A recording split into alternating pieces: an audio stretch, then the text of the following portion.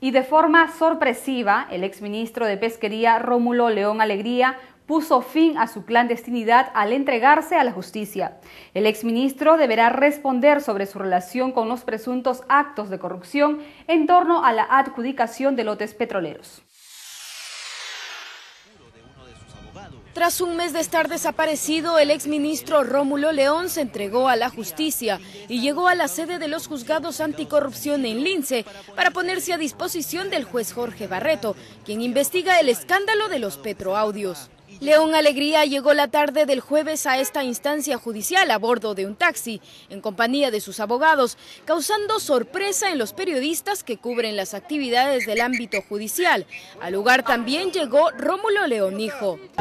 Tranquilos y con la, con de que se tras permanecer largo tiempo en el tercer juzgado anticorrupción, León Alegría salió en una camioneta de la policía con rumbo a la carceleta de Palacio de Justicia en el centro de Lima. ¿Qué importa quién ha apoyado? Lo que importa, señores, es que el señor Rómulo León Alegría se ha presentado voluntariamente al juzgado. Eso es lo que importa. acorralado. ¿En qué momento se ha visto acorralado? Cuando ya lo había Dígame usted, si, si, la policía lo tenía acorralado, ¿por qué no lo capturó?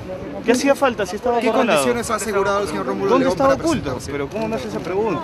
En primer lugar, yo no la sé. Y si supiera dónde estuvo, tampoco se lo puedo. Sí, pero mire, así lo supiera, no se lo diría. No se habla de negociaciones. Acá no había ningún tipo de negociación y no había ningún tipo de condicionamiento. ¿No? Lo único que nosotros hemos hecho es allanar el camino para que el señor León Alegría se pueda presentar. ¿Qué, quiere decir allanar el camino? Presentar un escrito ante el juzgado, ¿no? comunicándole al juez de que el señor León Alegría ha tomado la decisión de ponerse a derecho voluntariamente.